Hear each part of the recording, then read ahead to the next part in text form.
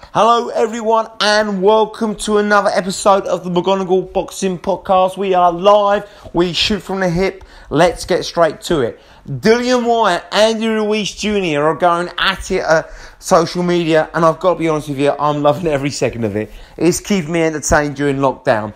But let's break down a potential fight. Is it likely to happen? Well, I think so, because let's be honest, sadly for Dillian Whyte, I can't see Tyson Fury fighting him. Cannot see that.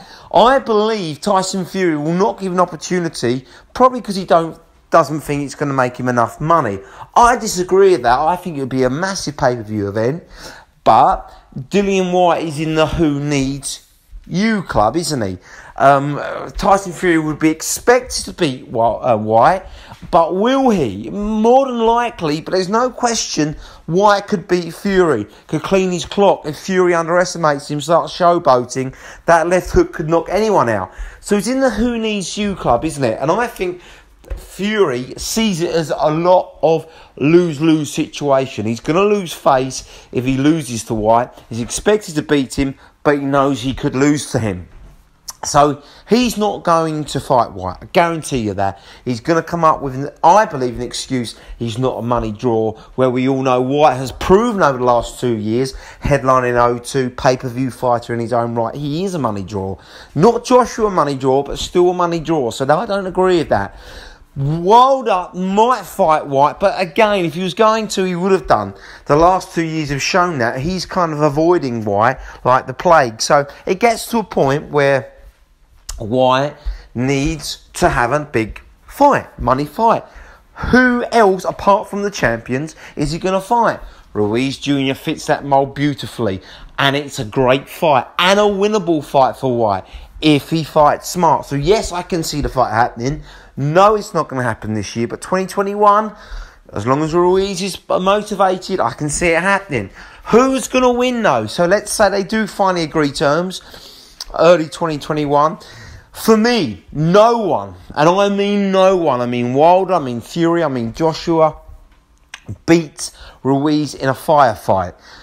He's shown that against Parker, he's shown that against Joshua, he's shown that against everyone. If you stand and trade with Ruiz, it doesn't end well for you. Now, Parker arguably has got the best chin in heavyweight division, and he ran in eventually from, from Ruiz. He didn't fight him for long spells in the pocket, because when he did, he come up come out second best. He was given a hometown decision, in my view, in that fight. But this Ruiz more experienced and better now. Look what he did to Joshua, one of the biggest punches in the heavyweight division.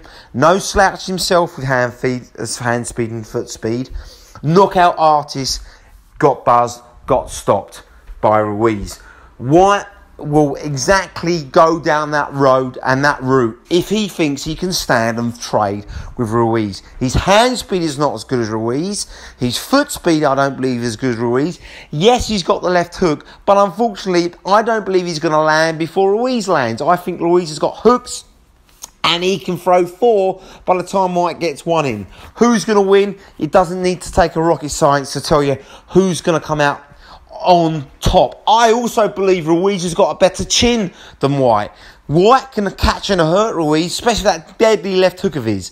He sparked Chisora out, who's got a massive chin himself. But Ruiz, I believe, is a special fighter when he's in shape, when he's focused, and when you fight his fight. Whyte what worries me about Whyte is he would have to stand off from Ruiz and pick him apart and wait for his chance. That's how I can see it. But time has shown time and time again Whyte is impatient.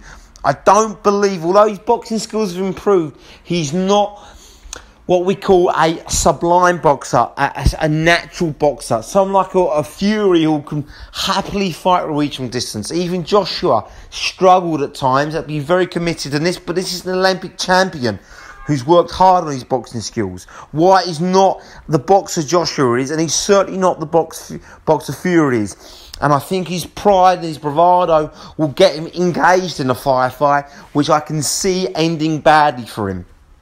Um, not to say he can't buzz Ruiz that left hook, but I think Ruiz will do more damage. I think he'll overwhelm, and I think he'll stop Whyte around seven or eight because I cannot see Whyte boxing smart for too long. I'd love to see it. I'd love to see him pick him apart and counter punch him. He can do it. I'm not saying it's an impossible task, but my money always says that Whyte can't resist the tear up. He's going to engage and he's going to come out second best. And I think he'll get stopped by Ruiz, a relentless Ruiz, who I think with all this bravado, all this bad mouth, the fact he's got a point to prove will come up in shape. He'll rock up in that at 18 stone, not 21 stone, and he'll be ready to fight. And when he does, he's a different proposition. My money is on a Ruiz KO. I'm saying round seven, round eight, he gets Whyte out of there. I'd love to see Dillian Whyte do it. He deserves his crack at the world title, and no question, if he beats Ruiz Jr., there's no other fight out there for him but a world title. And I believe, I fully believe he can beat Joshua.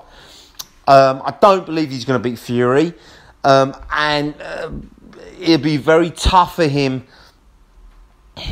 to beat Ruiz. I think. I think he can beat Wilder and Joshua though. Styles make fights. He can get to them too before they get to him. But with Ruiz, I don't think that's the case, and I think he gets outboxed by Fury. But let's make the fight. It's a big money fight. It's a great fight. It's a pay per view fight in the UK, no question. Ruiz Jr. Will he come to the UK though? I believe he will if enough, enough money's offered. Headline the O2. Get it on 2021.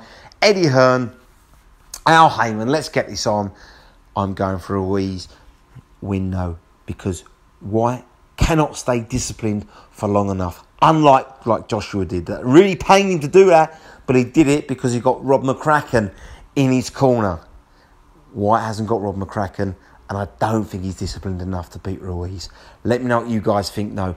Drop me a line on Instagram, Facebook, on my YouTube, the McGonigle Boxing Podcast, Twitter now on McGonigle Boxing Podcast, and I'll be back real soon. All right, guys, I'm out. Catch you later. Bye.